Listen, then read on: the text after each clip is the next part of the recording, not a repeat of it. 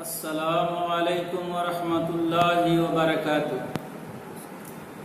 الحمد لله الحمد لله رب العالمين والعاقبة للمتقين والصلاة والسلام على رسوله الكريم. أما بعد فقد قال الله تبارك وتعالى في كلامه المجيد وفي فرقانه الحميد. أعوذ بالله من الشيطان الرجيم. بسم الله الرحمن الرحيم.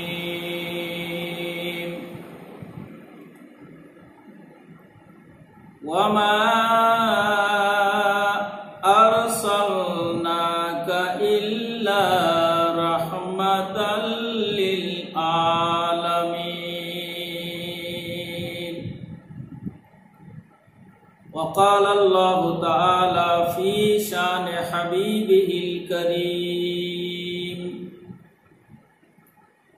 ما أتاكم الرسول فخذوه وما نهاكم عنه فانتهوا. وقال النبي صلى الله عليه وسلم كل أمتي يدخلون الجنة إلا من آبى. قالوا آبى يا رسول الله. قال من أطعني فقد دخل الجنة. ومن أصاني فقد آبى أو كما قال النبي صلى الله عليه وسلم من صلى علي مرة صلى الله تعالى عشر مرة صداق اللہ المولانا العظیم وصداق رسوله النبی الكریم ونحن على ذلك لمن الشاهدين والشاكرين والحمد لله رب العالمين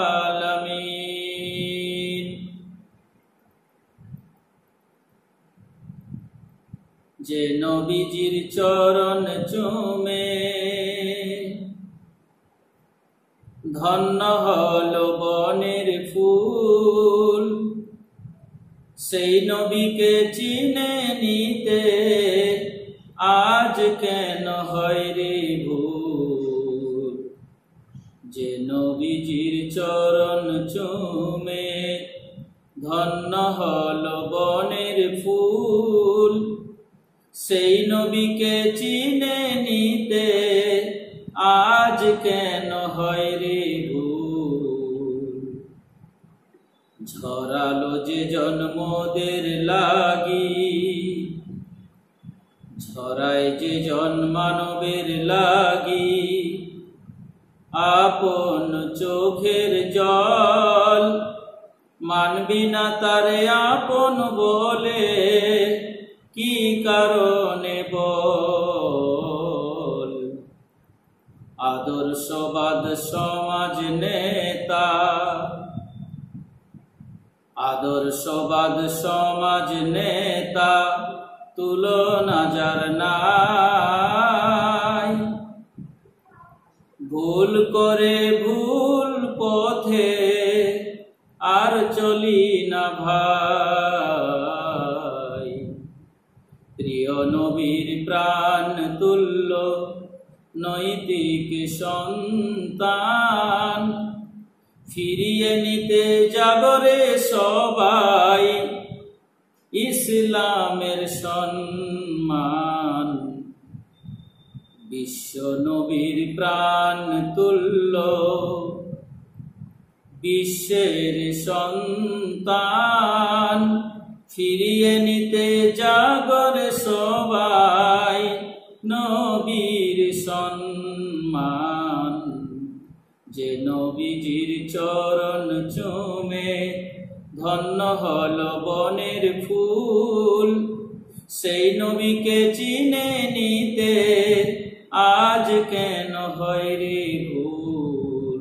যে নবী নবীজির চরণ চুমে। মহতরম, দোস্ত, বুজুর্গ আজিজ আজকে আমি দু চারটি কথা প্রিয় নবী মোহাম্মদ রসুল্লাহ সাল্লাহ সাল্লাম সম্পর্কে এই মিডিয়ার মাধ্যমে আপনাদের কাছে তুলে ধরতে চাই। স্বভাবতই মানুষের যেহেতু ভুল হয়, তাই এই ক্ষুদ্র বক্তব্যের মধ্যে কোনো ভুল ত্রুটি হলে আমাকে জানাবেন, আমি তা শুধরিয়ে নেবার চেষ্টা করব। আমার মূল উদ্দেশ্য হল নট অনলি ফর মুসলিম শুধু মুসলমান নয়, বিশ্বের সকল মানুষ যেন মোহাম্মদ সাল্লাহ সাল্লামকে চেনে, বুঝে এবং তার আদর্শগুলো, মোহাম্মদ সাল্লাহ সাল্লামের চরিত্রগুলো, মোহাম্মদ সাল্লাহ সাল্লামের যে বিভিন্ন দিক, এই বিশ্বের বুকে তিনি এসেছিলেন। মানুষকে যে তিনি রাস্তা দিয়ে গেছেন, যে মতবাদ দিয়ে গেছেন সেটিকে শুধু শুনে নয় ডিসকভারি করে, বুঝে সেটার প্রতি দৃষ্টি আকর্ষণ করাই হলো আমার মূল উদ্দেশ্য। মহতারাম দোস্ত, আমরা কোরআন শরীফ থেকে শুনলাম, আল্লাহ রাবুল আলমিন ঘোষণা করলেন ওমা আরসাল নাগা ইল্লা রাহমাত আলমিন। আল্লাহ পাক বলছেন, আমি মোহাম্মদকে পাঠাই নাই। হে নবী, আমি তোমাকে প্রেরণ করি নাই। কেন করেছি?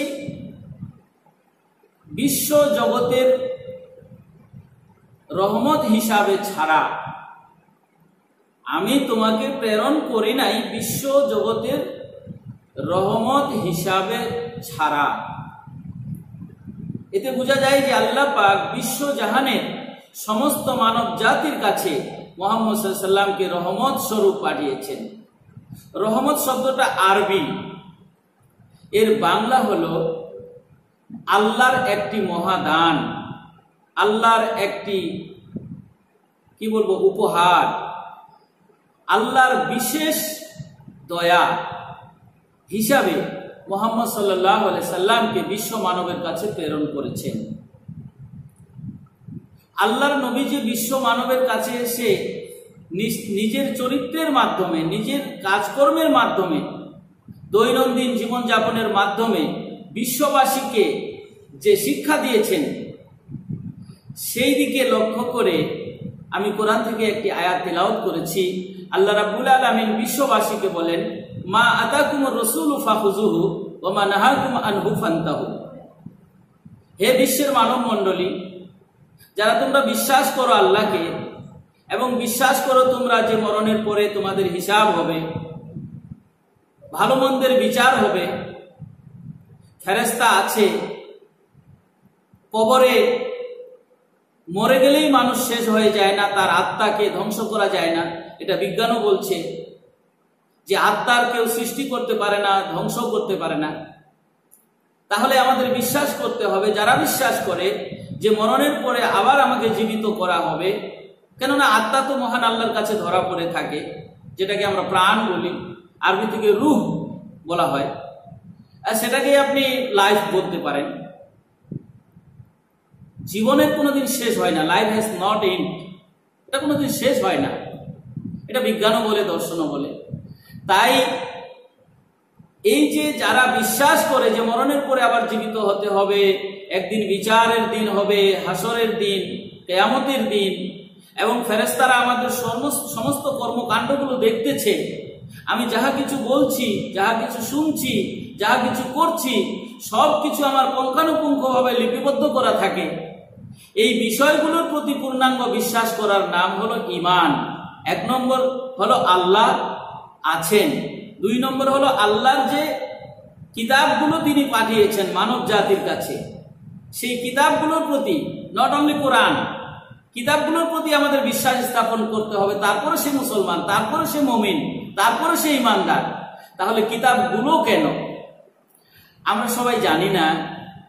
এটা দুঃখের বিষয় যে নাইনটি ফাইভ পার্সেন্ট মুসলমান এখনও জানে না যে আমাদের বিশ্বাসযোগ্য কিতাব আল্লাহর তরফ থেকে যেগুলো এসেছে, সেটা কয়টা এবং কি কি? তাই অতগুলো ব্যাখ্যা এখানে দেওয়া যাবে না। সংক্ষেপে বলি তৌরায় জব্বুর ইঞ্জিল কোরআন। এই সমস্ত কিতাব আল্লাহর তরফ থেকে এসেছিল। আরও একশো খানা সহিফা ছোট ছোট কিতাব আল্লাহর তরফ থেকে এসেছিল। আল্লাহ পাঠিয়েছিলেন মানব জাতির পথ প্রদর্শনের জন্য।